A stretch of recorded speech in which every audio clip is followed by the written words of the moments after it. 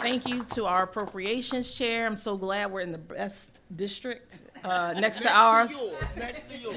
Uh, glad to be in South Philly this morning. It is wonderful to be here. Um, I'm Joanna McClinton. I serve my neighbors in the next best district. The 191st Legislative District includes communities in the Cobbs Creek sections of West and Southwest Philly, along with the lower end of Delaware County with both Darby and Yeadon boroughs. And we are thrilled today to be here in a public school in the city of Philadelphia because it was just last summer that we were in a public school in the city of Philadelphia and we toured a building and saw the disrepair that folks, not only do our children go to school in these buildings, but so many people work in these buildings. And for far too long, it's been unsafe and we did not have the resources to put towards creating a solution, notwithstanding an almost 10 year lawsuit.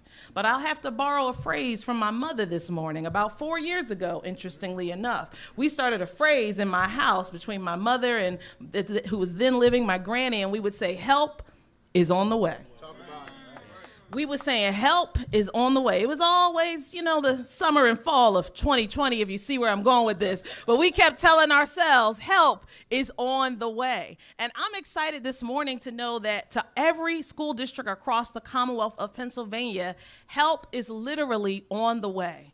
Not only have we been aware of what's been going on, but the fact that so many of our colleagues spent hard time, our appropriations chair, Representative Jordan Harris, toured the state with the Appropriations Committee and the Education Committee, going in and out of schools, listening to the public. We always knew the problem, Senator Hughes. It wasn't that long ago I was working in the state Senate and it was a budget passing, and I believe your words, Senator Hughes, were flim, flam, sham.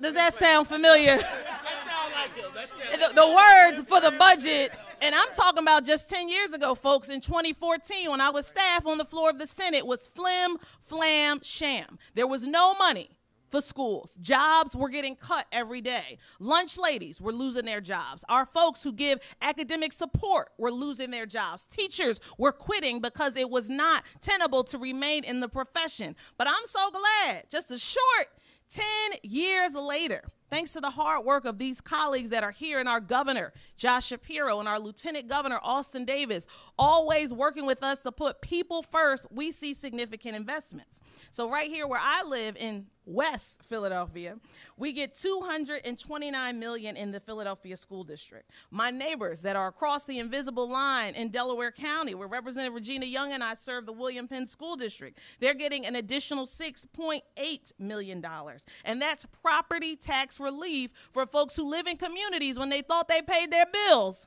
get another one from the school district because of shortfalls in Harrisburg. But that time is over and the fight continues.